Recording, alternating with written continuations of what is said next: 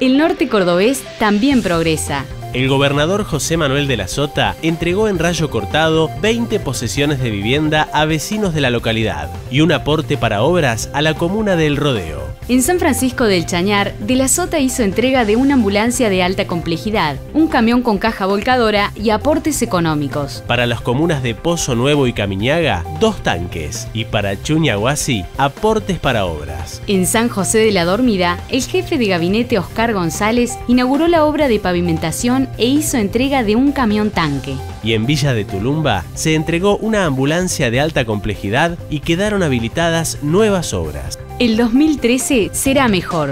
Gobernación de la Sota.